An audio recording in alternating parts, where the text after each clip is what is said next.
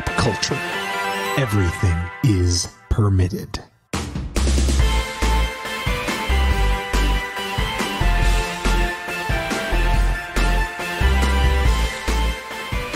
Welcome to episode 49 of Everything is Permitted here at Wade's Comic Madness. I'm your host, Julian Brown, alongside my co host, the man of steel, Matt Reppert, and the master of puns, Brittany Tomes. How we doing?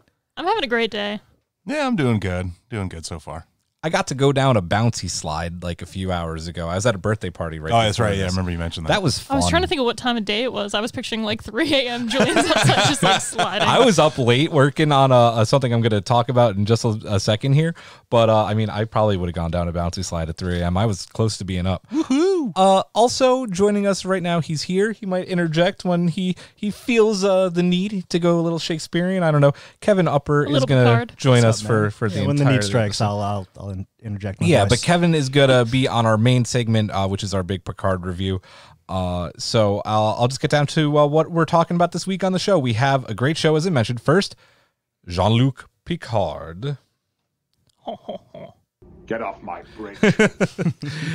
is back on the television on CBS All Access Thursdays at 12:01 a.m. Right, uh, if you want to stay up late and watch it uh, before you go to work You the next day, you Yeah, should. right. Uh, and we have our review of the premiere of the very first episode. We'll be joined by Myrriah Gossett from our new friends over at the Star Trek Discovery Pod, as well as I just mentioned, Kevin is here joining us as well. Once again, he was on last week. Myrriah's way cooler than me. Debatable. I want you guys to be friends so you can just theorize. um, and they're both going to help us go over all the details of what was, we all think, a really strong opening episode of Star Trek Picard. Also, our friends over at Geeks with Kids recently went over Matt Moore's top 10 films of the decade. And, uh, well, we decided we have a Matt too. We're going to go over his top 10 films of the decade. And uh, with that comes a cool announcement. When we come back from our break in March, we're going to pit Matt Reppert against Geeks with Kids, Matt Moore, and decide uh, who has the better top 10. I'm really looking forward to that. yeah. uh, The I'm- Battle of the Mats. the battle of the, The Mats. The Mat Endgame. oh God. The Mat game. Leave it all on the mat. Jesus God. Yes, that's what we should call it. I, I yeah, Red alert. All hands to battle stations. that's what that's gonna be. I'm, I'm really this. Is, I'm gonna have all the Picard sound bites today. uh, it, it I think it's appropriate. Uh, I don't know. I might not have the time to actually like shame Brittany uh, this episode. We'll see what happens. I think the audience will be fine. There, I, there's, I think they'll live for one episode. there is there isn't a catchy Picard song like there is Baby Yoda though. So That uh, we could have our heard audience. Picard's flute. yeah, right. we could have the audience record their own "Shut Up, Wesley's" at me. I would love that. The "Shut Up, Brittany" challenge. Shut up, Wesley. That's it. Then It's done. it. We are starting the hashtag shut up Brittany challenge. Send us on permittedpod at Yes. gmail.com, Twitter, Facebook, Instagram. Your very best. Shut up, Brittany. And uh, we might play it on air. That was a great idea. That's actually great. I love it. Wow. Way to shame yourself. I love being shamed. That's I'll awesome. do anything for the people. It's the people that matters. Also, um, announcements. We would love for you to support our show. You could do so for free by quickly going to Apple Podcasts and giving us a five star review. That helps get our show on Apple Podcasts front page. It would mean a lot if you can go and do that. Um, like we mentioned last week, our Patreon program is live. Uh, we said that our show is always going to be free, and that is very much the truth. But if you want to go a little extra, you can join our Patreon, which just starts at $2 a month. And I think, guys, that it has some really awesome perks. yeah, absolutely, definitely. I know we have some stuff planned during our break for our Patreon. So yeah, it'll be definitely a lot of fun. Yep. I mean, the, the Patreons had already joined, or the patrons had already joined, got to hear cats early. So They did. They got to hear cats early. And that was worth Yeah, any that- two or five dollars you put in. Uh, if you go for the five dollar option, uh, you had your first exclusive uh, bonus pod where we sat down a little bit more with Bill Tozzi from the Cinescape and talked about some more of our favorite Jean Luc Picard episodes from Next Generation, and that was a lot of fun as Yeah, well. it was. So uh, join our Patreon, and then also we have to do our EIP VIP shout outs. We would like to thank Billy Peets, Matt Moore, Heather Reppert, Nikki Veazey, and our friend Rob wanted us to call him by his secret name this week. So we will, we wanted to give a shout out and thank you to Macavity, which is what shows up on his Patreon. Oh my uh, Jesus God. you son of a bitch, Rob. um, so thank you to all our patrons who have joined our Patreon program already. Big, big announcement for you today. Our brand new website is live. and uh, we already have some blog posts on there. Uh, so in a you know depending if you're listening to this right at eight at eight thirty a.m. this morning, um, my Picard review of the first episode, Remembrance, will go live. I know uh, Brittany has some stuff planned as well. Yep. She hasn't Keeping written it it, yet. secret, Keeping but it secret. you'll see it. But there'll be a blog post from her, and maybe Keep it I have secret, I have keep some secret. stuff I want to write. so, uh, yeah, go check it out. Uh, it is live. We think that we've gotten all of the kinks out, but of course, uh, go ahead, play with it. Let us know what you like, don't like. You can email us at permittedpod at gmail.com. Yeah, we'd like to know what you think. If there's any bugs that you find, you know, when you you launch can a scream website. at me in public too. That's yeah, fine. that- we'll get that's- fixed. Yeah, Do exactly. it all the time. Yeah, right. Playing Um, Mario Kart. Just real quick, I have to send two really big thank yous to two friends of mine. One, um, Brian Tudor from the Infamous podcast. He helped me out a ton uh, building our website. I had to make decisions about hosting platforms and you know whether I wanted to go with WordPress or something else. So Brian, I just want to say thank you to you for helping me out a lot, and then also my really good friend Cynthia Lynn. She was a big help as well. She uh, she helped us pick out our host and uh, get some initial things started on our website. So thank you guys again. Let us know what you think, Brittany. I'm gonna I'm gonna you did a really good job. I'm sorry. I didn't know I was distracting. Shame. Shame. Julian's being mean because I have ADHD. well it's, I, it's- I like I. She, I just wanted to you- fix it. It none, was like, none of you could see it, but she literally was messing with the, the top of Julian's water jug, and I'm literally the whole time I'm like, "What are you doing?" I wanted to make it straight. Meanwhile, doesn't me that go against being used your. Yeah, your my philosophy. oh snap! Accurate. Just saying. Yeah. I don't know. It just looked askew, so I wanted to. It looks so nice now, I I, I liked it the way it was. It was all bent and broken, and you fixed it. I just like Picard. Uh, let's get into some rants and raves. Brittany, I know for once that you have one raring and ready to go. Well, good news. They're finally making me full time at my other job. So yay, woo. Um oh I'm actually getting a round of applause. Well, yay! Thank you, audience.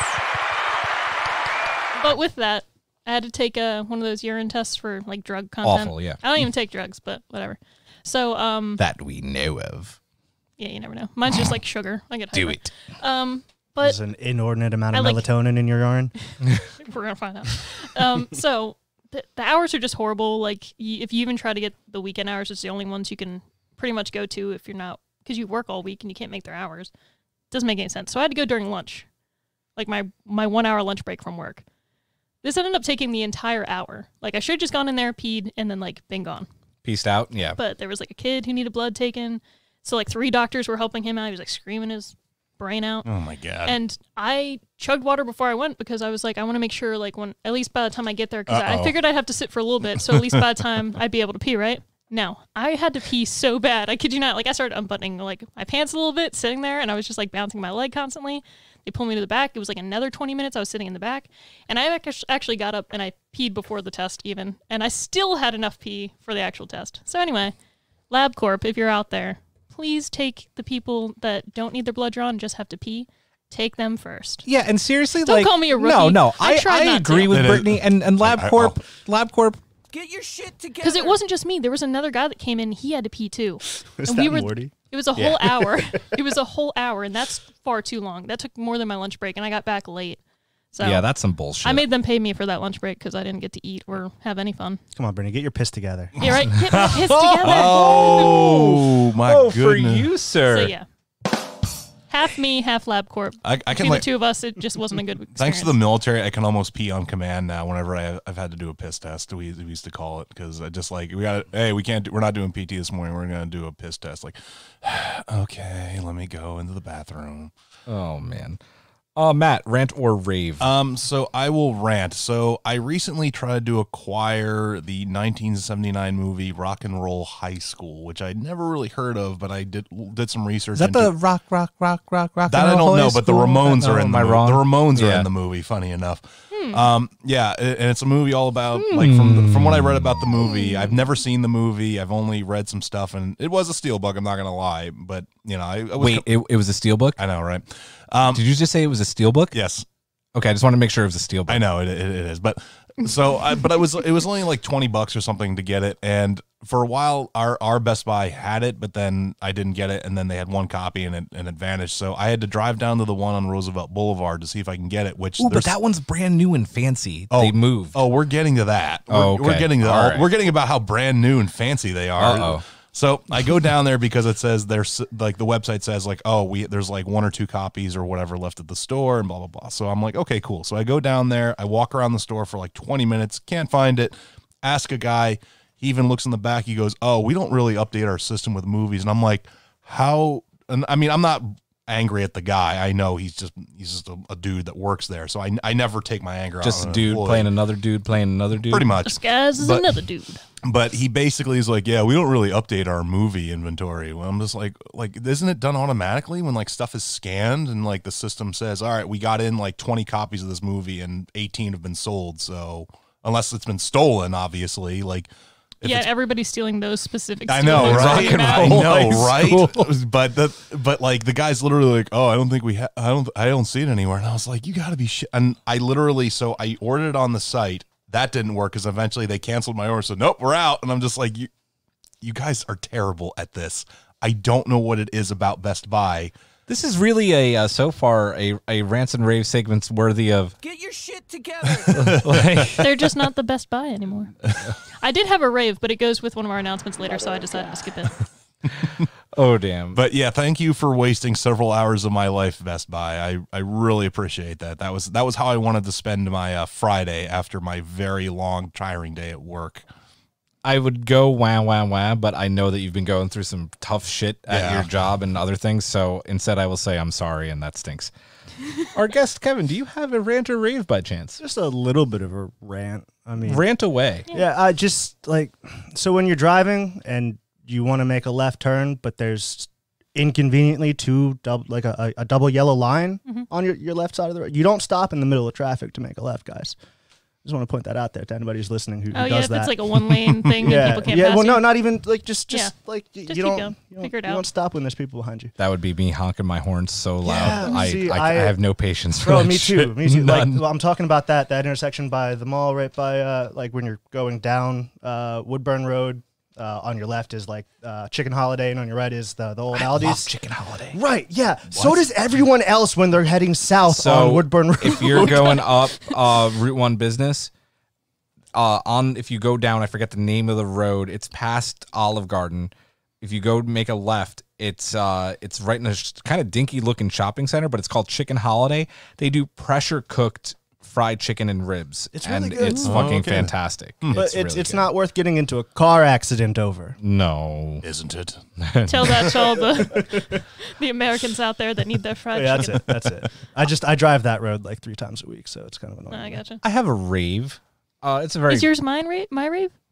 I don't think so. Mine's What's- Star Trek related. it's kind of Star Trek related. It's more about the company. Oh, go ahead. I was just really, really excited. I know Matt, it sucked that you couldn't make it. I know you had to work, but just having uh, Brittany and Kev and Jared over uh, to watch Picard, and also, you know, the fact that we got seventy five dollars worth of Chinese food. Amazing. It was awesome. And What the hell? Oh yeah, Jesus. And a, You should have been lot- there, man. Yeah, you should have. He's like, I had to work. Sorry. That's I think that's my overtime day. Yeah. Ah, okay, that's Uh, understandable. so we we ate a lot of Chinese food. It was fun. I gave Jared a uh, a little bit of whiskey in a NCC one seven zero one. He liked that. Uh, whiskey glass with a an actual circle uh, ice cube. oh, we got real fancy. Yeah, and then uh, we watched Picard and tried to you know get around the fact that Caleb was being a little shit. Caleb was wild. So he was wild. He just wanted nonstop fortune cookies. If It's I- honestly just my internal monologue all the time. Yeah. See, if I had been there, I think you guys would have gotten angry because obviously Heather would have been with me. And like another question Heather asked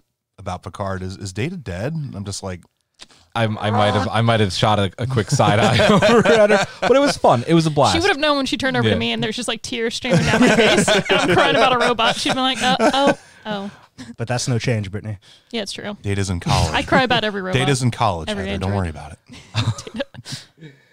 Oh man, uh, but it was it was fun, and you know, with Caleb, we had to, we had to get around the Caleb situation, so I just kept on like gradually turning the volume up and up and up been up, but it was fun. It was a blast. And then I went uh, I went right uh, here to Wade's and played some uh, Star Wars Destiny, even though the game is dead. So Woohoo! yeah, it was fun. It was Just it like was- Data. just like Data. Oh god damn. Hey, remember remember what Luke said? No, nobody's ever the game to nothing's ever nobody's ever really gone. Exactly. So that was that was that was fun. Uh, I'm gonna I'm gonna really keep it at that. Yeah. Do we have anything else? Nope. Nothing? Then it is time for The permitted minute. Das permitted minute.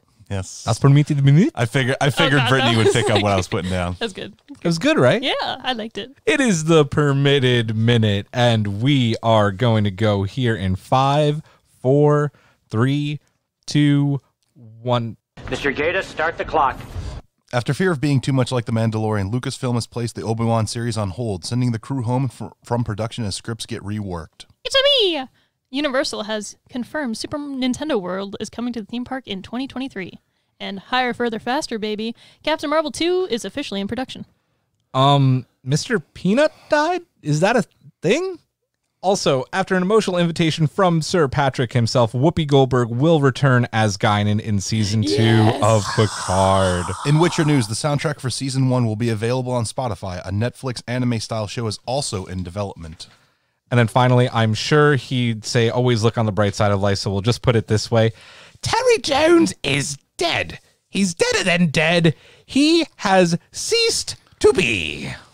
And that's it. We did it. We Yeah, had we we- had six, five or six Yeah. seconds. I. I will say I love Monty Python's like their tribute to Terry Jones. They basically just said two down, four to go. Classic. I, I, I don't think there's any other way to celebrate any of those Monty Python guys. I think uh, I think Terry Jones would be proud. So I messed up on mine. I was going to say Super Mario World, but I was like, no, it's Nintendo. I I wanted to been playing a write. Super Mario Yeah. World, and I kept on having to It's a me, edit it. Mario. Yeah, Oh, man. I'm I love when you do that. You're too good at that. You're too good at I'm that. obnoxious when we play Mario Kart and I pick Yoshi, though, because then I like knock somebody off and I'm like, "Ah." Pikachu.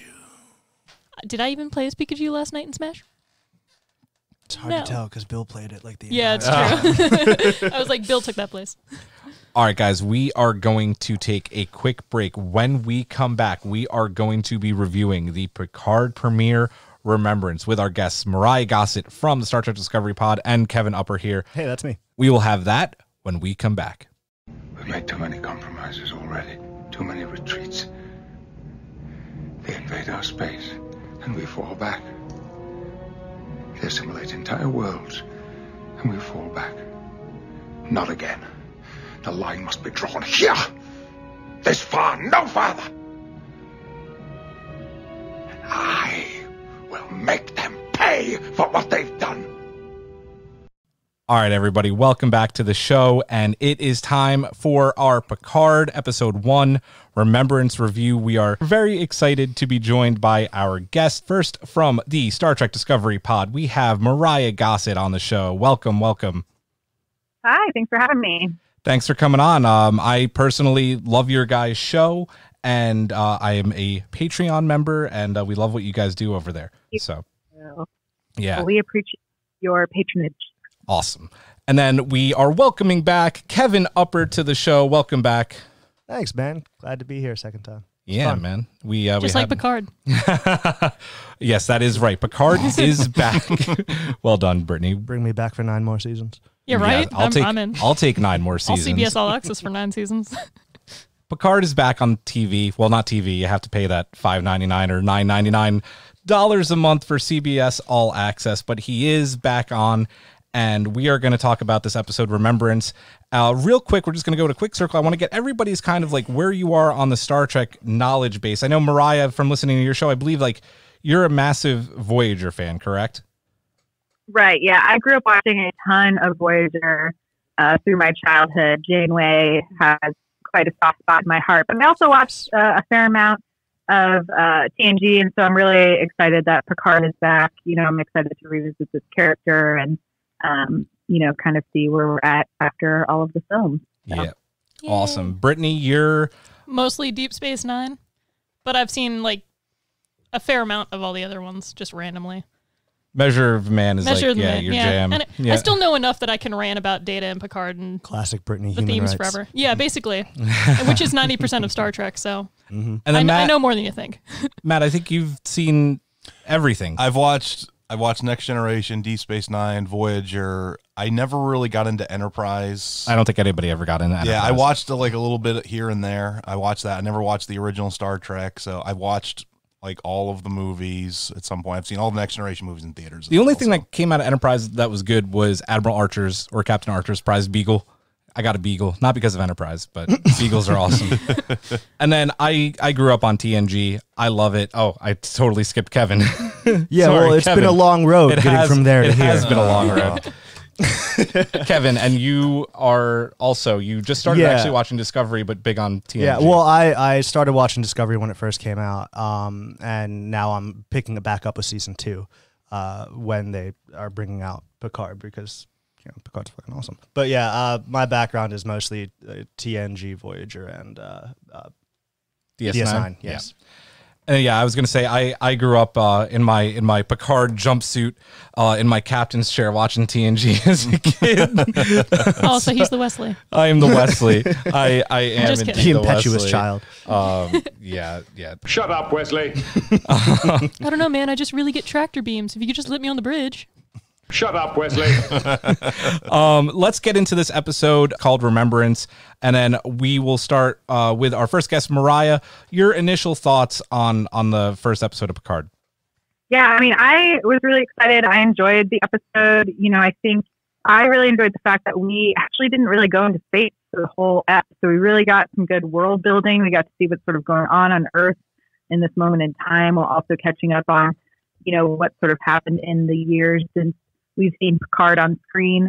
Um, but not too much like deep dive. So there's some mystery left to figure out as we move through the season. I, uh, you know, I have a, a soft spot for that vineyard life, so that looks dope. I'm down. Give Chateau Picard. like Chateau Picard, sign me up. I will go pick some grapes, although it looks like they have plenty of robots to do that. But uh, yeah, yeah, and Romulans hanging out. along with Uh, Robert. I'm uh yeah, I'm excited. I think there was like some good action pacing. I think they're trying to show that, you know, it's been a long time for Picard before he you know, he's looking tired, he's older, you know, and now he's getting kind of jumped back into this crazy world where things are happening. Um, we're setting up some interesting plot points. You know, I think we have to remember it is a pilot for a lot of folks who've never encountered uh, Captain Picard before. And so I think they did a good job of showing his personality, his relationship with Data, but not trying to overwhelm someone who's maybe new to the fandom while still getting enough wink nods to people who've been around for a long time. I think you actually bring up a great point that this is very much like a pilot for people who are not familiar with the character of Jean Luc Picard. I, I think it gives you enough if you've never watched TNG, if you're into basically new Trek coming over from Discovery, to be like, okay, this guy, you know, was a big deal. He's not anymore. He made some decisions. Uh, I think it did a really good job. I also just want to quickly touch on you know, Vinny, your point you made with all the robots. Every time they showed the robots watering the plants, I just kept thinking to myself, man, Robert would be pissed. Just Is he rolling around in his grave? As long as they're not diagnosing the grapes, I guess. I don't know. Like he he was not a fan of all that uh autom- automation. Which is ironic because I see- Robert is so close to robot. I see, I see Jean Luc had some modern technologies. I'm assuming some fire suppression systems are in there. As Uh, yeah, well. because you know they burned in the the fire. Uh, the fire. Kevin, your thoughts on the Um, Picard I episode think one? Myrriah pretty much hit it right on the head, especially with a. Uh, I agree that it, it's a it's a great jumping on point for people who have maybe not necessarily uh, the background that we do and, and, and the fandom there, but it, it's pretty easy to to get behind Picard's character so far. You know, like just as a jumping on point, if this is your first foray into Star Trek, I think it's a pretty solid representation of Picard so far. Um, uh, I I agree also that um, I I, I like that it, it didn't take place in space at all. Yeah. It- it's it's entirely Except to the very, very, very end. Yeah. right. Yeah, I mean there there are events that yeah occur. Um, yeah, exactly. Which we will. yeah. yeah, but um, yeah, it, it's it, it's it really to you know take after my cousin. It grounds Picard. Yeah. No, um, almost no pun intended. Pun uh, intended. a little bit of pun know. intended. It does. Oh, He's very much on the grounds when you first see him. Yes, indeed. Brittany, your initial thoughts on Remembrance? Well, I absolutely loved it. You know, I cried twice. Yep. aka just the Data Picard scenes. Don't you look at me, Matt. when he said, I don't want this game to end, I was like, oh God, I don't either. Man, I feel like it's good that it shows, like, you're not seeing the same Picard as you saw last time when the show, you know, left off with that poker game at the end. Agree.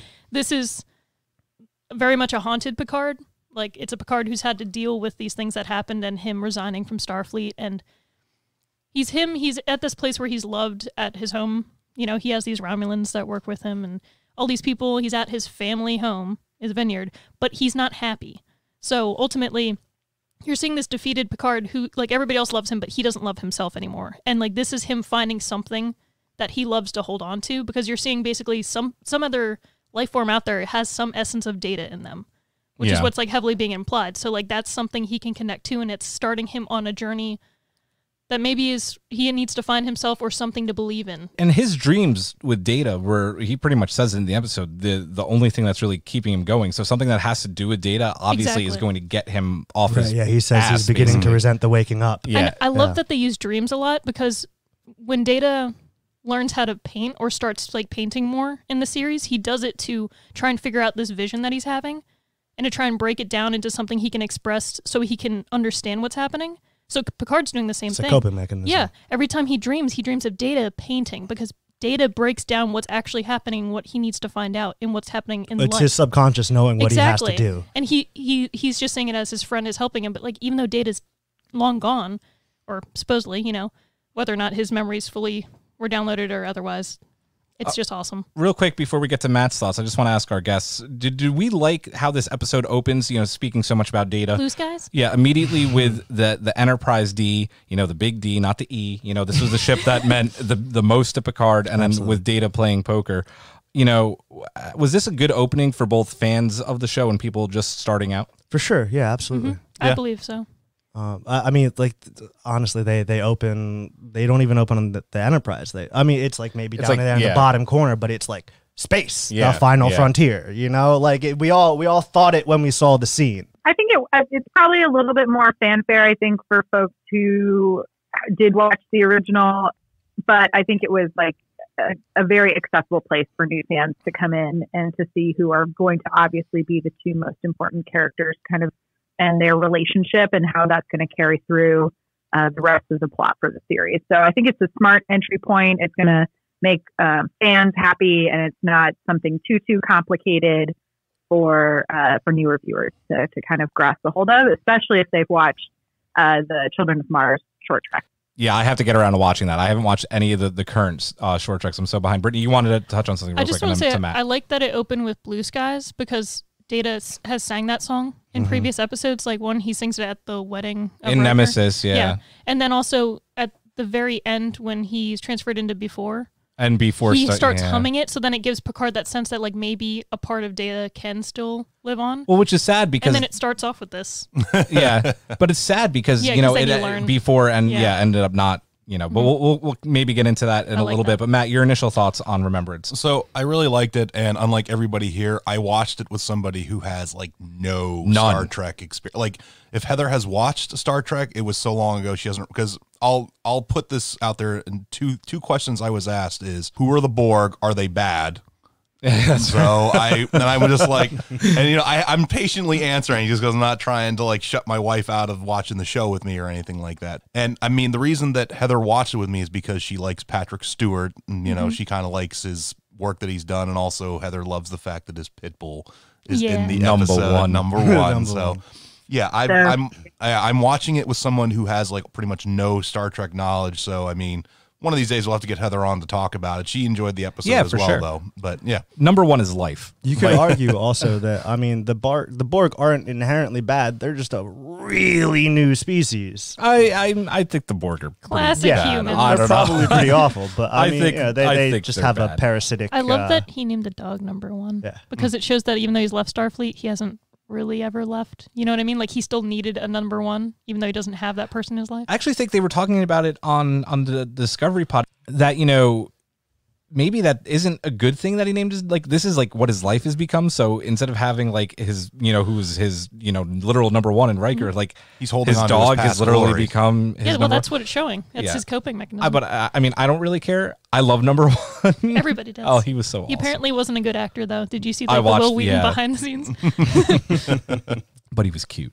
Yeah, and that's what matters. uh, real quick, uh, if I'm gonna kind of skip my thoughts, you can read uh, my review of the episode on our brand new website, which is live now. Uh, our thoughts are, uh, my thoughts at least, are on that. Real quick, the, the only thing I really want to say is that for the entirety of this episode, all I kept thinking to myself was, "Oh man, that's that's Patrick Stewart." That's Jean Luc Picard, and he's back on my TV. And I just, you know, some of the lines, you know, when he's getting interviewed, you know, the, Ugh.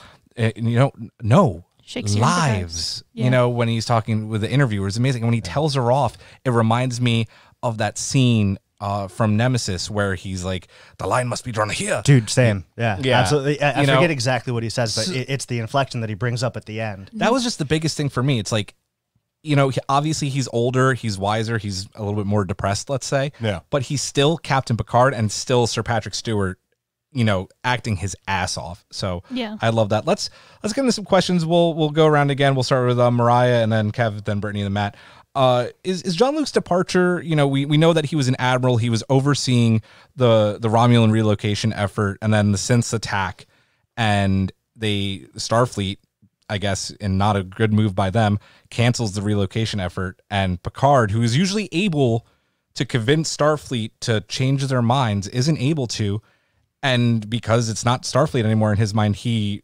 retires from the thing that his he is literally loved the most. So, do we think his departure from Starfleet is believable? Like, would he quit the organization that he devoted his life to because it's something that he didn't recognize anymore?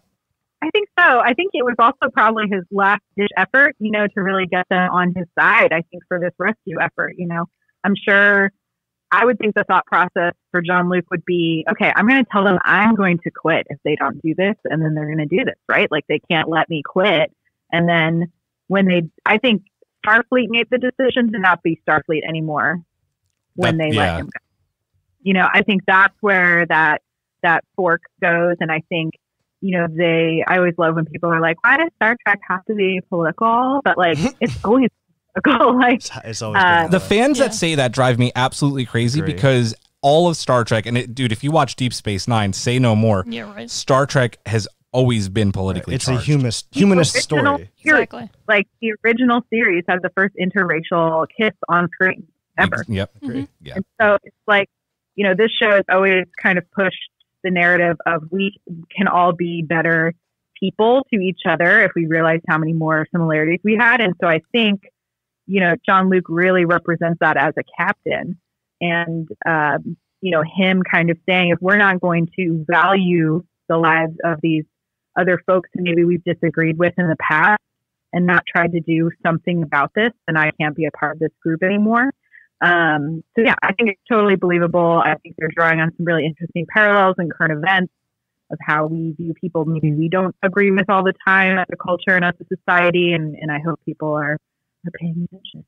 uh, again, I I'm, I'm forced to uh, agree with Myrriah. Like uh, how he sends says he spent like 20 years nursing his wounded pride. I, um, I hadn't thought about it uh, in in that framing until she just mentioned it. But Picard saying, "Yeah, no, if this isn't Starfleet anymore, I'm going to leave if you guys don't do this." Like in, in his mind, I, I I agree that he probably believed that like he just was trying to wake Starfleet up. It was a it was a bargaining chip, a power play, or whatever, whatever you want to call it.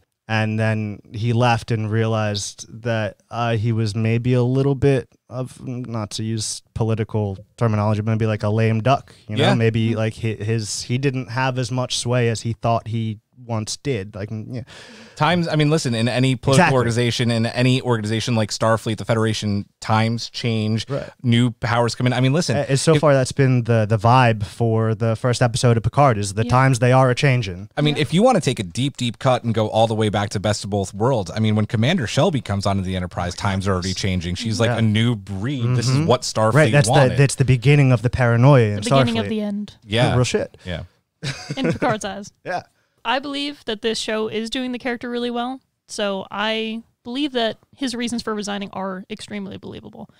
anybody who's been in a job or in a position where they've had to leave something because it goes against what they believe in morally or against what they think the organization originally represented will definitely understand this. Like I had to do that with a recent position where I left because I was like morally this is wrong.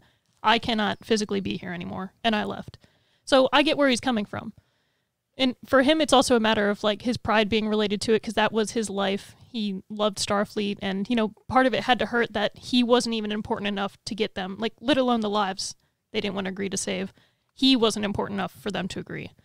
And part of that is the resources because you know the the synthetics you know destroyed a bunch Utopia of Utopia Planitia, exactly. which so, is you know where some of the biggest and best starships have been Yeah. built, like the Enterprise. so their Enterprise, reasoning was we don't have the resources. You know these various people aren't going to fund us, so we don't have the money to let you do your mission. which is interesting because doesn't Picard say in First Contact that the acquisition of wealth, wealth is no longer like the money wasn't a force. thing exactly, anymore? but like you're saying, the times are changing. Maybe they're starting to be that Accumulate way wealth again. again, Yeah. Well, maybe it's not so much wealth as it is uh, like. uh, I mean, Yeah, the Klingon Empire, wide. ex, an an Right. empire itself, like an empire can only exist so long as it expands. Yep. Matt, anything the on US. Um, I I did I slightly did not care for like turning Starfleet into like a darker entity because I wish there'd been a little more explanation as to why they suddenly backed out of like helping the Romulans because that does nothing but benefit Starfleet if they do. If they had said something on the lines of like, look, after the Dominion War, we just didn't have the, the resources to spare. We we put everything in building this fleet, and as soon as they got destroyed, we couldn't help. Well, them. yeah, you have to remember too, not just the Dominion War, which did mm-hmm. deplete a lot, lot. but also Yeah. you know basically the second battle of Wolf three five nine. Mm-hmm. Yeah, there was you know. resources, and then there was also the public that wasn't viewing the Romulans. So you had these people that already didn't want to even work with the Romulans because of them being an enemy in the past. So you already have that inherent bias, and then you also have the lack of resources and the funding towards saving them. So Yeah. he was like had too many things working against him, and he was one person trying to save a I- whole. Yeah, no, uh, planet. but I hope that they kind of go a little bit more into that rather than like Starfleet just wanted to be dicks. I Yeah, think they just- might. Yeah, I hope They they, do. will. Let's yeah. Um, have y'all watched Children of Mars? not yet. I really want to. Yeah. I keep not meaning I to. think if, I think if y'all watch it, it will I think help explain. I think the way the public was probably pressuring Starfleet to not move forward with uh, the Romulan rescue. Hmm. So I- That's interesting. That's actually really. I, I got to watch these. I'm Public like, has more yeah. power than you think. Uh, Yeah. again, I'm gonna just gonna hop on the Myrriah train and, and Yeah. agree. We're all we're, all on the Myrriah train. I like it. Um, It's the I next like it. Enterprise, Enterprise M. Get off my bridge. That was the wrong one. Sorry, I meant to do. Sorry, it's my bridge now, guys. that was meant to be. Make it so. Um, Ryan, I want to get your thoughts on the character of Dahj, who we're introduced to, and, and then obviously her twin sister Soji, who I think probably will end up being the second lead. Uh, are are we committed to to the character of Dahj, the characters of Soji? Do we think she's really dead, or is the the focus of this season going to be on finding Soji? So if, if anyone else listens to the Star Trek Discovery pod, you'll know I love a good theory and coming up with crazy ideas of what I think is going to happen. So I do think Dahj is gone. I think the twin is going to be the main character we're focusing on for the rest of the series. Um, I just recently rewatched First Contact, and so this is probably why this theory is front of mind for me. I think the reason these two twins exist and the idea of them possibly being a portion of data's, you know, creation or memory or however they're justifying this, um, is they might be some sort of synthetic Borg hybrid. mhm, Um, because agree. Yeah. contact, they the Borg are able to put human flesh on data, um, which was Mhm. not something capable from Starfleet technology. Right, the- and so, I think that like weird acid thing. Some people thought it was blood. I thought it was more like the dude cracked a capsule in his mouth and Mhm. spat at her, like old school Cold War, like Yeah, KGB style. yeah. Um, and so, and they're all like, has she been activated? You know, in my mind, it's like, has she been connected to the hive mind yet? Um, and does she have all the abilities? And so, you know, especially because at the end we reveal that the Romulans are using an old Borg cube as this like reclamation site. I think there's something going on with a combination of Borg and synthetic technology, and Yeah, perhaps Soong's technology.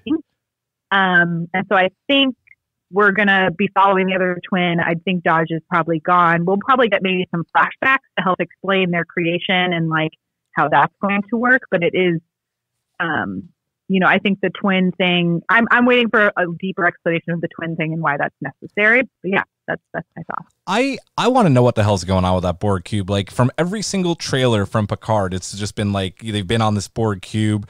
You know, there's a like there's a sign in there, I think in Romulan or in English that says like something. It's been this many days Since since, our last this station. assimilation. Yeah, since our last assimilation. yeah, like, no, that is telling to me, honestly. Yeah. yeah.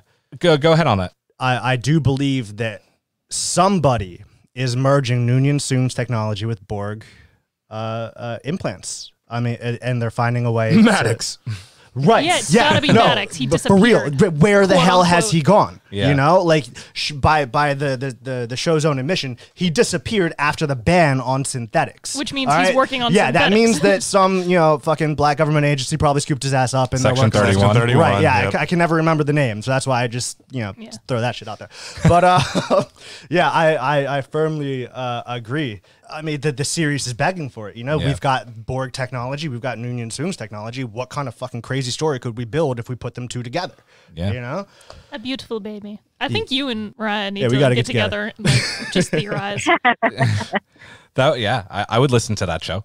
um, any other thoughts on Dahj? Yeah, go ahead. I want to say I don't think she dodged that explosion. Uh, Make it so. I think she's Dis- dead. disagree. my- Well, you think she got scooped no, up? Yeah, no, because uh, the scene like directly beforehand, Mm-hmm. uh, they show Dahj throwing a Romulan or you know a, a, a, a black Yeah, she might not be clothed dead. individual Off, over the and ledge they and they, they they beam him up. He Yeah. Mm-hmm. he doesn't hit the ground. So I do believe that that might have been a They bit beamed- of they theater. double beamed. Yeah, no, no, genuinely, no. like they might like that might have been a plan is to make Picard looked- believe that that, they Dahj- killed The Dahj explosion was so very that they can keep her and he doesn't look for her. Instead, Yes. he focuses on the twin. If that's if it. that's it, I I like it because I want to believe that Dahj isn't dead. I do think that she is. I mean, I'll, I'll freely admit to having like seven thousand like tin foil hats. Yeah, my- of course. Yeah, no, but it's a good my- theory. Like, I, Like- I like the theory, and I think it would be a cool twist. I just, I, I don't know if the show is going to go that route. I guess we'll see. Yeah, You know? I have a series. Uh, uh, um, I Maybe tend to, get to put my expectations above Right. the actual writing of shows. Did Myrriah? Did you say that she might get rebuilt? Yeah, like Ooh, if it yeah. if it's like she's damaged in some way and there was anything left, maybe these like the black suited KGB alien people. like that. Yeah. my my belief is what what those dudes were. They're they're Tal Shiar. That's Oh yeah, That's the Yeah, Romulans. What's left of the tall what that's left of the Tal Shiar. And my my whole theory has been like the reason the synthetics attacked and destroyed is because the Romulans were probably infiltrating or going to do something to the Federation, and they're like, all right, we. I But can why see, would they? Why would they attack the Federation when they're trying to help? Unless there's still that deep hatred for Starfleet and the. I, I don't know. It's Let I, I, I feel like I feel like you. it. I feel like there's something there's something deeper that the Romulans, even though they were allies during the Dominion Wars, that the Rom because remember the Romulans have always been subterfuge. That's always and, been and their the. Enterprise helped take out um, Shinzon. You know. Well, I mean, also, you- I mean, if you really want to dive deep, it'd be like the Romulans discovered that, uh, yeah, the the Dominion never killed that That's senator. right. it's a fake. uh, final thoughts, guys, on the Picard premiere of Remembrance. Uh, Myrriah, we'll start with you. I mean, I I'm just really excited. I'm ready for the rest of the series. I'm ready to see my seven nine again. Um, yeah. yes. I think it set up a lot of interesting plot points.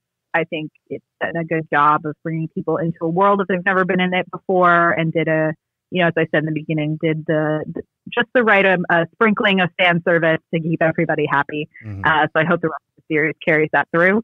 Um, you know, I do think with new Star Trek, we get a lot more action. You know, I think we're because special effects are better, the sets are better. They have probably way more money than they've ever had before.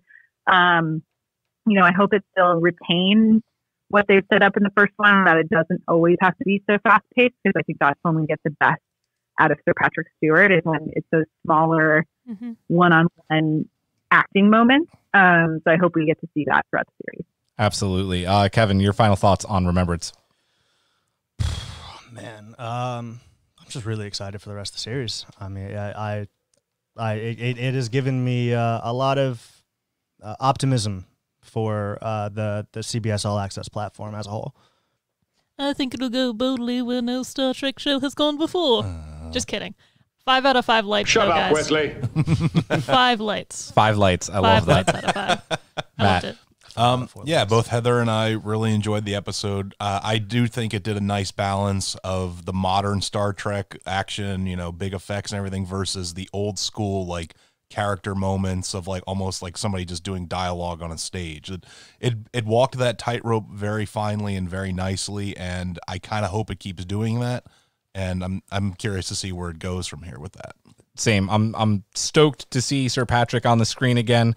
I can't wait to see what happens. I know we talked about it a lot. I, I'm really thinking that Greg Maddox is going to have a huge role to play in this season, and I think it's exciting that they're going. to Yeah, I'm, I'm just I'm so excited to see what's going to happen.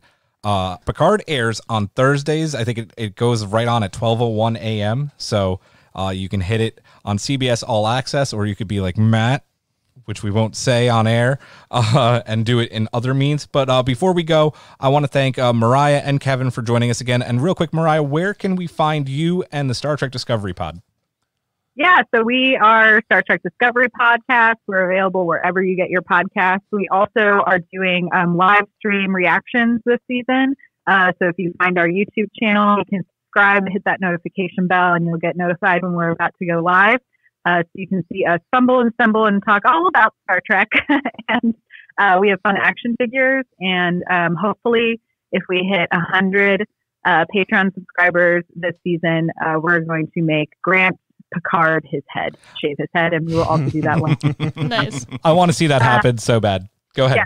And you can follow me on social media. It's at Myrriah Gossett. Uh, it's spelt weird. I'm sure it'll be in the show description. I had hippie parents, so there's a Y in there. But if you start with Y R R, you'll find me. I'm like the only one there. Thanks. Awesome. Well, we thank you so much for joining us. You too, Kevin. and then we will uh, we'll just uh, let uh, Captain Picard take us out here. Let's make sure history never forgets the name Enterprise. All right, we are going to take a quick break. And when we come back, we recently listened to Geeks with Kids, and Matt Moore did his top 10 films of the decade. Well, we thought we had a Matt too. Why don't we do Matt's top 10 films of the decade? And then when we come back in March, we're going to pit Matt against Matt. I'm really looking forward to that, but his top 10 when we come back.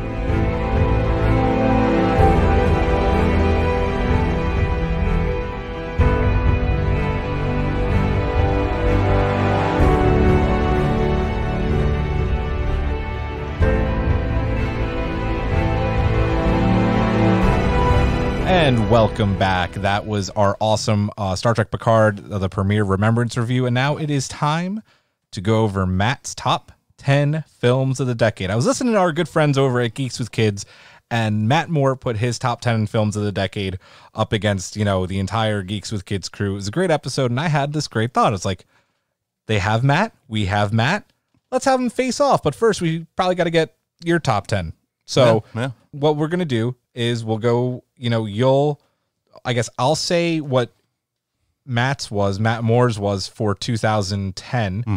And then you'll say yours, and, you know, we'll talk Mm-hmm. Yeah, about it for a little bit. And, uh, well, yeah, we'll figure it all out. So, uh, we're going to start right at 2010. And Matt Moore's film for that was Inception. That was mine as well. I had a feeling that you two would probably be on the same page. I. I now for my for my I actually did a top three just because I was like it's well, hard, right? Yeah, it's hard. There were I mean some years had more, better movies than others, and I even did some honorable mentions for some years that had a lot of good movies. But yes, I went Inception number one, The King's Speech number two. And a little bit of a uh, dark horse pick on my part. Scott Pilgrim versus the World is my number Yeah, three. that's a great film. Yeah, I uh, and obviously Brittany and I will go down ours at the at the end after we go through yours. Mine was different, but this is definitely a great pick. I mean, this is probably Chris Nolan top three film that he's ever made. I mean, yeah, and uh, and the ending with the the spinning thing, like that's still because I remember seeing that in theaters, and when that happened, and when it just cut to the credits, I heard somebody in the audience go, "What?" like like scream at the top. That their might have been me. I'm that guy. He is. Uh, so going well, do do you, do you agree? Oh, Yeah, Inception. Yeah, yeah, it was my choice, yeah. but Yeah. it's become so memeable as well. You know, Yeah, it, it, that is very a lot of true. contention with that ending. Le- Leo's squinting face. yeah, like, Confused Jackie Chan. Uh, yeah. We'll move on to 2011, and Matt Moore had uh, Captain America: The First Avenger as his pick. So I did pick that, but it was a very close race between that and my number two, Rango. Uh, Rango was my number two, and X Men First Class was my number three. Um, yeah, I mean, it's like Rango is. If you've never seen it, it's a fantastic. It's an adult animated That's movie. Johnny Depp, right? Yes, Yeah. he plays the chameleon. It's a fantastic movie. I actually just bought it on my digital service, so I I'm, I'm going to watch it again. If you guys want to watch it, I can Yeah, man. definitely show it to you guys. as I was going through his list and going and making my list for the end here, I had some funny experiences because I was like, oh man, 2011 was a great year for film. And then I'd get to like 2012 and maybe like 2015. I was like, oh man, these are really shitty years for film. I, I Um, feel like really, Ma- I had feel 2012 as like a bigger year for films for me. I had- than I- 2011. I mean, 2011, I- I, was like, what is this? in in 2011, I had a bunch of uh, a bunch of runners up. I feel like Matt and I are going to have a lot of similarities. Where we might differ is our two and threes if he ever Yeah. does that. I think.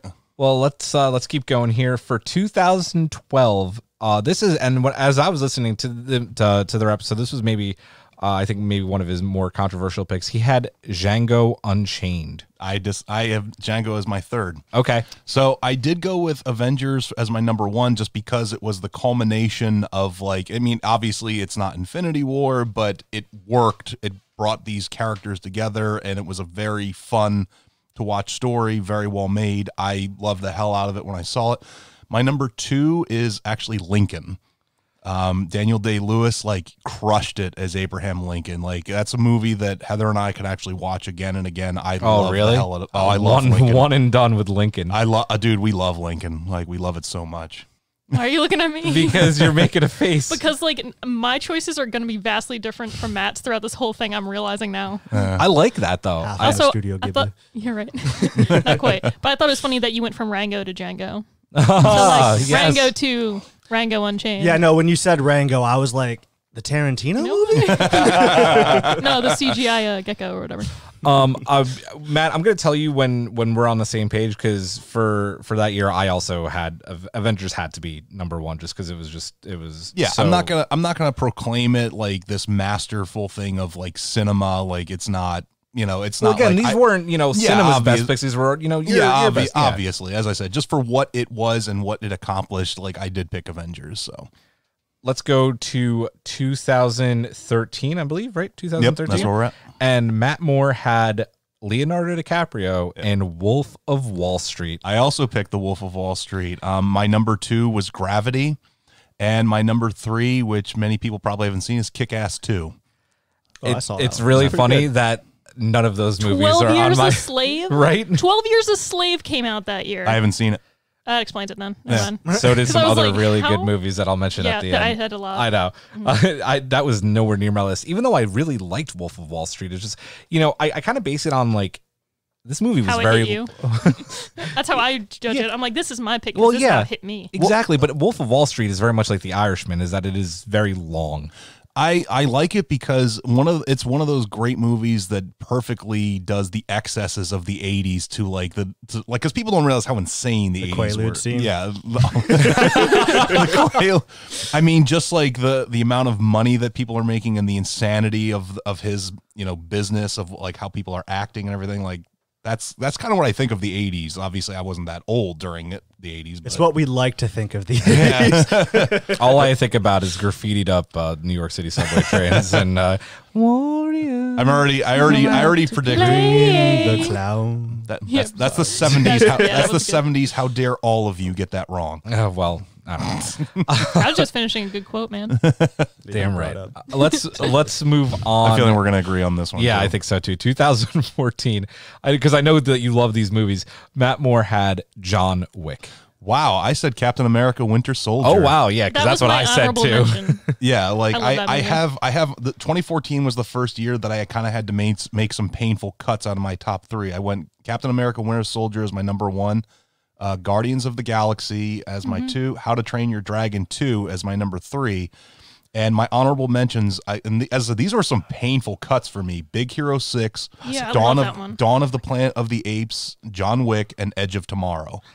And you just said a bunch of great movies that came out the, this year. There's three. Uh, Ex Machina, yeah. Interstellar. Thank you. That's Oh one of the my ones I'm. goodness, Uh, yeah, this is this is gonna be so fun when we when we near the end and talk about. Whiplash is amazing. I liked film. Whiplash, but I didn't Grand think it Budapest Hotel. was. I never saw that one. Birdman. I'm just naming them all now. Birdman was 2014. Birdman was. I didn't. I actually didn't I think love Birdman, was as amazing as people said it I was. I thought Birdman was fun. I thought It was a really- trip. It was yeah, Yeah, and, and like, like- and Michael Keaton, like it was nice to see him. Yeah, step it- back that's that's into, more like, so a- what it That's was. why I you think. watch it was just like a hey, good to see you back, Mike. Yeah, and You uh. Bird, Birdman to me was just like, all right, what if we made a movie about what Michael Keaton thought after he was done being Batman? Right, that's, right, that's yeah. literally that what was it it, was. but I with really masterful shots. yeah, Yeah, I really liked Birdman a lot. Yeah, I mean, you get Edward Norton and Emma Stone. Uh, is, too. so John Wick wasn't even on your list. no, it, it was an honorable mention. Wow. Oh, it was an honorable mention. It was an honorable Okay. mention. All right. 2015 and uh I was I was going through this list with Karen too and she was really excited by by Matt's pick here. Uh, Matt Moore had Mad Max Fury Road. That was my number one as well. Great. Dude, that movie changed my life. You will be shiny and chrome. I live, I die, I live again. So I, yeah, yeah, I had to pick that as well. bag. so Mad Max Fury Road was number one. Like, if you just appreciate how movies are made, like Mad Max Fury Road, like if you read about all the stuff that was that went behind the scenes and they're making it, like one of my most favorite things ever is the actor who played the main villain actually like set up this cult of personality among the stuntmen. Like in their workout thing, he actually had a poster above their workout bench of him in full costume that says "Daddy loves you." That's fucking awesome. And then th- there was this thing where he's walking around on set, and you see all the stuntmen are in their, you know, their what, what was the name of the of the of the of his little group, like the Proud Boy, not the Proud Boys. I Boys, forget That's their the name. dogs, war dogs. the War Dogs. Yes, the Yeah. War Dogs. They're all in makeup, and they go Immortal, and they're all doing the salute to him, and, and they're not filming it or anything, and he like kind of nods got at them and into just keeps character. walking. Yeah, it was it was awesome. Um I loved this movie. Karen loved this movie and uh there there's been talk of of a sequel uh hasn't happened yet. And real quick on, on Mad Max Fury Road, uh Geeks with Kids was also talking about that they spawned a pretty awesome video game that didn't get a lot of uh, get a lot of uh yes. you know playing, you know. Yeah, the Mad Max Yeah. game. Yeah, I, I I loved the Mad Max game. It was really good. I never got a chance to play it, but everything I saw looked a lot of fun, especially the car stuff. It's very it's like a wide open world GTA ish type thing, but it's it's set in the I Mad was Max say universe. it's like a MMORPG type. It's kinda- not an MMO. RPG, It's it's single player, but it, it's it's a ton of fun. I recommend the Mad Max game. And my number Interesting. My number two from that year was Inside Out. Was Pixar's Inside oh, Out? that That's a was good so movie. good. Yeah, I love that movie, and it's still probably one of Heather and I's greatest inside jokes from when we saw it in theaters. So, Nice. um, and number three, I put Star Wars: The Force Awakens. Oh, Yeah. that was a big one for yeah, me too. yeah. Let's go ahead and move on. I believe we are in 2016. Yes, And this is one of the biggest shocks that uh, that was on Matt Moore's list here. He picked Split. Now, there's some controversy here because his original pick was going to be something that Matt and I hated, uh, which was Batman: The Killing Joke, uh, the movie adaptation. Wow. A lot of people didn't of- like that one. yeah, because I, I would very much Batgirl. disagree with that. I very much loved the comic. Yeah, but the it's movie it's changed epic, some but the movie changed some stuff, and it was not good. And the Bruce, the yeah, Bru- the Bruce Batgirl, like, Batgirl yeah, thing was just really weird. it was creepy. But the, what made that controversial is like, well, was that actually a cinema release? Uh, Which is why he picked Split instead. Mm-hmm. To which I I I was uh, tweeting together with them, and I said, well, it was released as a Fathom event. Matt and I saw it in theater, so I think that would count. Mm-hmm. But um, anyway, his his pick did end up being Split. Okay, so my pick was uh, Captain America: Civil War. I I really love the movie. I love the fact that there was no like right side in it. I mean, like I and honestly, like it's one of my favorite moments from the Marvel movies is when um Tony finds out that you know that Bucky killed his parents, and like he's like, you know, look, he didn't know what he was doing. He's just like, no, I don't he care. Killed, he killed killed my mom." mom. Like awesome delivery by Robert Downey Jr.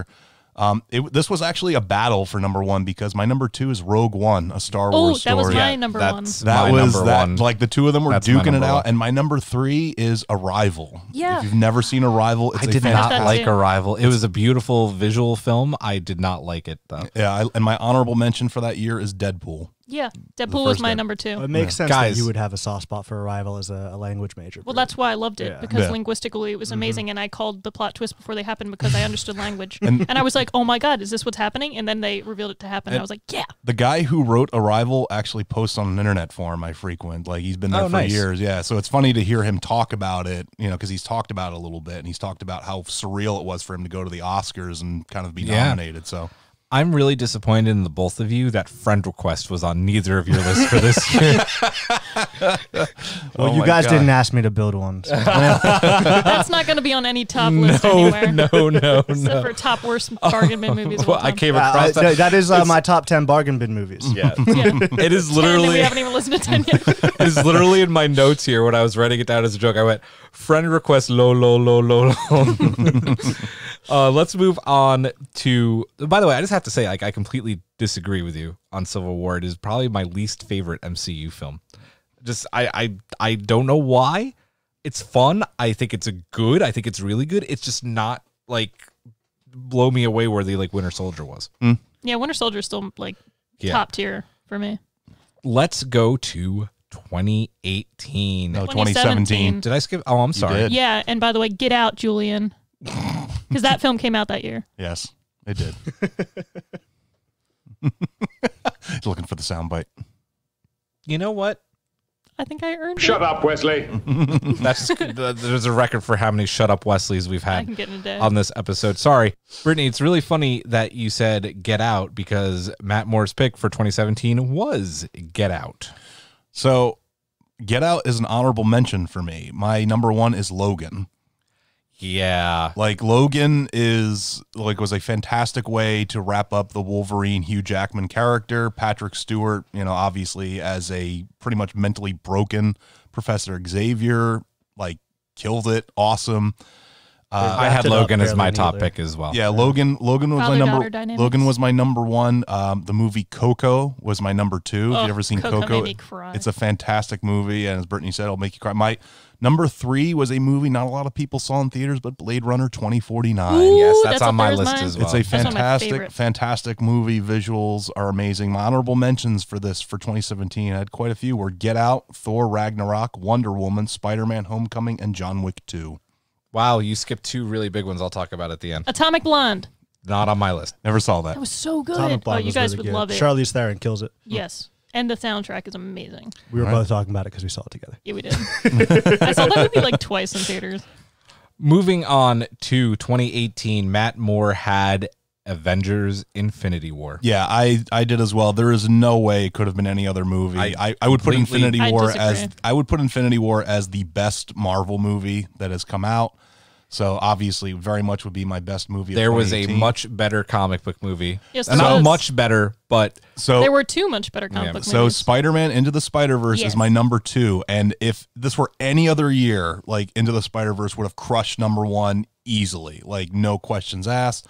And my number 3 actually was uh, I know a very divisive movie but Solo a Star Wars story. I really enjoyed I it. like It- that one. I it enjoyed too. really hurt me not to put it on my list because I really enjoy it, but I just didn't think it was like, you know what I mean? Yeah, and it my- wasn't quite there. and I had two honorable mentions and that was Deadpool 2 Yes. and the movie Upgrade. Upgrade. My top movies were Deadpool Upgrade's 2 good. and Into Upgrade's a good movie. Upgrade's a really fun movie. My girlfriend and I just watched that like last month. Yeah. Yeah, it's, it's pretty solid. Yeah, I love Upgrade. And then finally, we're at the big year, our last year, 2019. This is going to be an interesting for for you because you just watched this. Matt Moore had The Lighthouse. So yeah, I don't have the lighthouse anywhere on like, and Yeah. I, I've already said. I'll probably, I'll probably, I'll that for an probably honestly, I'll probably write a blog post about the lighthouse, breaking it down, Yeah, you and should. like as I said, I, I, as I said in my initial like little snippet review that we put on the Facebook page, Lighthouse was beautifully shot, artsy as hell. Willem Dafoe and Robert Pat, like. If you watch The Lighthouse and think that Robert Pattinson still can't be Bruce Wayne Batman, I don't know what to tell you. Like That's he, what I keep hearing. like yeah. he he was great in the movie. Both him and Willem Dafoe were amazing together. But as I said in my review about it, the plot just didn't make enough Yeah. sense and was like way too artsy and like, oh, what are like I can appreciate that AMC to a- film. I can appreciate that to a certain point, but I don't, you know. But my best movie of 2019 was Doctor Sleep. Like Doctor Sleep. Same. Mine was Doctor that one Sleep. Oh man, gotta- I, gotta it get is on it that. is absolutely Which on is surprising my list. because I was Joker hardcore the majority of the year until I saw Doctor Sleep. Then Yeah. I was like, shit. Yeah, Doctor Sleep, like, and Joker is my number two, and Avengers Endgame is my number three, with my honorable mentions being Zombieland, Double Tap, and Shazam. I'm sorry. Hold on. It technically came out in 2019, 1917. Mm, I go. I put that in a That is a 2020. 2019 movie. I gave it. Get it got a it got limited. nominated. rele- it got nominated for the Oscars. yeah, well, That's fair. I give two shits about the Oscars nomination process. Kill me with that. I know. I, I already told you my reasons why I don't like the Oscars. well, you're watching them this year. Uh, no. All right, yeah. These are. This is going to be a great showdown when we do this episode because you guys have you have some some same. Yeah, we got like the beginning. It seemed like he and I was about to say, "Oh my god, are we gonna have the same movies every year?" Because this is not gonna definitely Go did not. No, we ended up different Uh, places. Brittany, you and I are going to go down our list. We'll we'll go ahead and start with you. What were your uh, your top ten films of the decade? We're just going to go quick. Yeah, just one at a these. time. Yeah. Okay. Inception. For 20, uh, 2010? Yeah, do you want me to read the year two? Yeah, Okay, please. 2010, Inception. 2011, Hugo. 2012, Silver Linings Playbook. 2013, 12 Years a Slave. 2014, Ex Machina. 2015. If you want to touch on any of these, you can real quick. Nope. just- okay. Mad Max Fury Road. If they want to know, I'll write it in a blog post or rant later. Uh, 2016, Star Wars Rogue One. 2017, Get Out. 2018, a tie between Deadpool 2 and Into the Spider Verse that I can't possibly choose. And then 2019, Doctor Sleep. Yeah, that's that's a good list. Absolutely. Uh, I think kind of similar to Matt's. No, she, No? no, she has some movies. so, like I never saw Twelve Years a Slave, so I couldn't. I actually It couldn't is put hard on because like it does depend on what you saw that Yeah. year. I just picked the ones that I really enjoyed or that I thought for me were the best. All right, here we go. Uh, my top 10 films of the decade 2010, The King's Speech. Great movie. Uh, That movie bored me. Uh, Great acting, just I didn't care. in you and you could have read your honorable mentions. You could read them a- after. Uh, 2011, I had Captain America: The First Avengers. My honorable mentions being uh, Moneyball and Girl with the Dragon Tattoo with Daniel Craig. I never saw. Girl It with was Dragon it was Tattoo. really good. You should do that. Yeah. So 2012, I also had the Avengers, and in my uh, honorable mentions, I had Silver Linings Playbook and Skyfall. Yeah, I had that Mm. too. Yeah. Uh, so 2014, none of y'all said it, and I'm disappointed. Frozen was my top film. Yeah, of I, that wa- year. I wasn't blown away. And by then Frozen. I know it's very, you know, you either love it or hate it. My uh, honorable mention there was uh, Man of Steel. I loved Man of Steel. Neither Steel. of those were even on my list. I know, that, disappointing. that was a big year for me. Where where are we? 2015. Yeah, now you are. 2015 we had uh, i had the winter soldier which is probably my top two three favorite films of all time Winter Soldiers 2014. Yeah, dude. Ooh, he fumbled. did i fumble You I think you skipped bit. 2014. 10 11 12 13 14 you're right i did frozen was 2013 so yeah 2014 was the winter soldier so 2014 i had the winter soldier and then my runner-ups were days of future past guardians of the galaxy and interstellar I think I know what messed him up.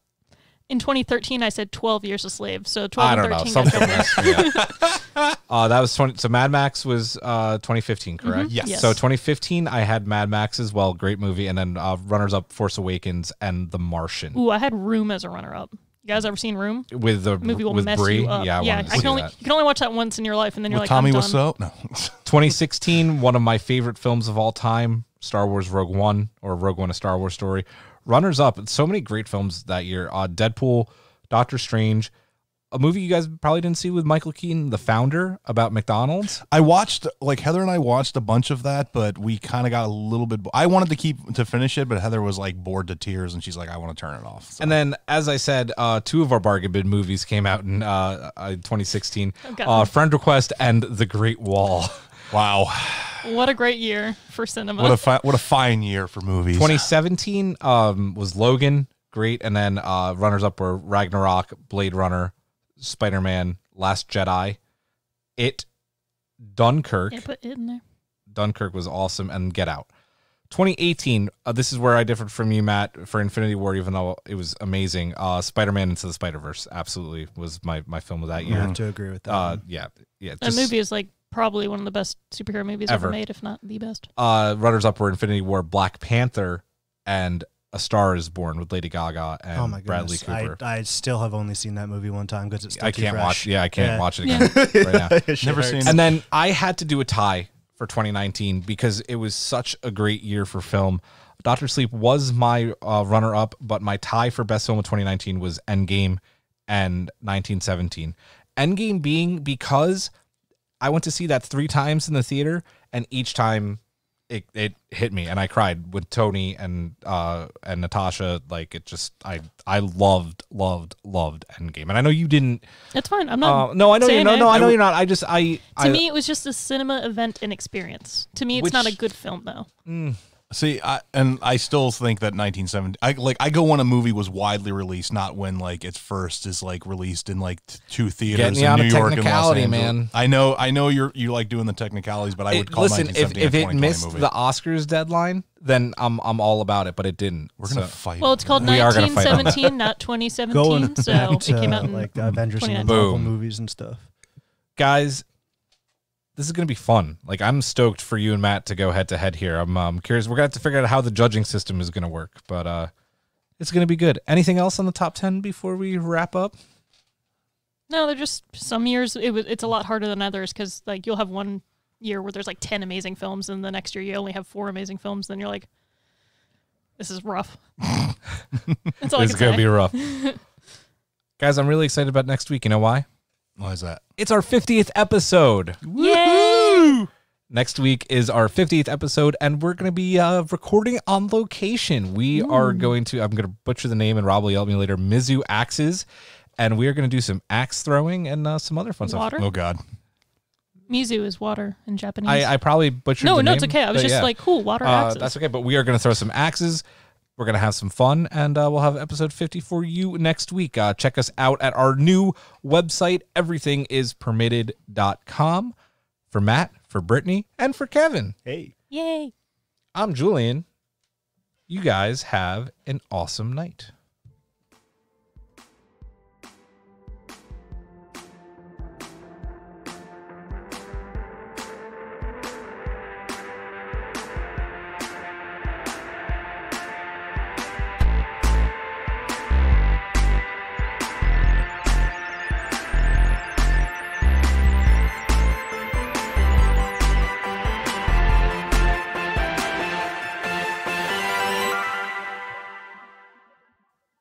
Can find Everything is Permitted on Apple Podcasts, Spotify, Google Podcasts, and YouTube.